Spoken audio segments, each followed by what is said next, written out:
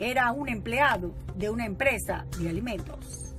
Señora, aquí aparece que él trabajó en el departamento de plaza. Un punto también importante es que el Colegio Dominicano de Ingenieros, el CODIA, no certifica que Efraín Santiago Báez no es miembro de esa institución.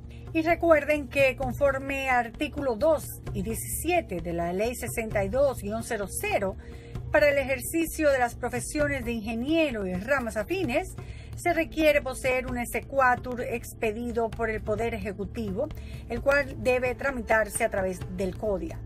No nos explicamos cómo una contratación de casi 2 mil millones de pesos en emergencia se entreguen obras a personas que, juzgar por la certificación del CODIA, ni siquiera cumplen con los requisitos de la ley.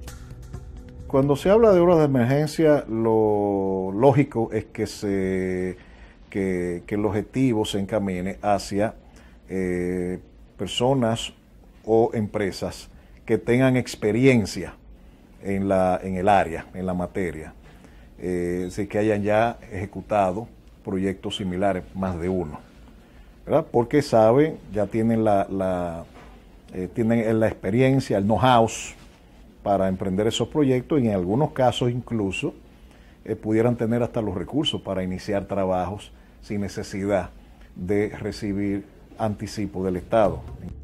Otro contratista que no está registrado en el CODIA según esta certificación es Fernando Arturo Faneite Sánchez, a quien la UISOE le adjudicó el contrato número 220-1-12 en fecha 29 de mayo del 2012 para la construcción de las siguientes calles de la provincia Valverde Mao.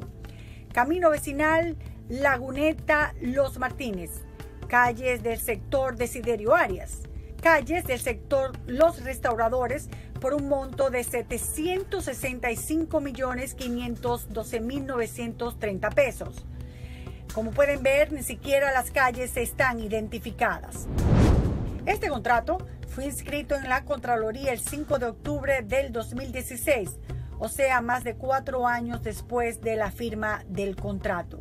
Contactamos al señor Faneite y asegura que nunca recibió avances para esta obra, que no llegó a realizarla porque la cedió a otro contratista, que no recuerda supuestamente el nombre porque ya pasó más de cinco años.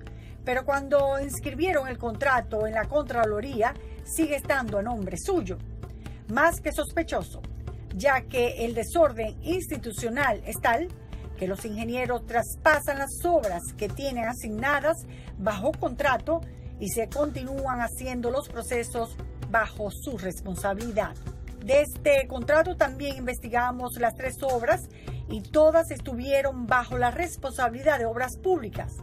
Dos de ellas estaban hechas desde el año 2012, mientras que la calle de Laguneta, aunque se inició en 2012, todavía está inconclusa, pero está en manos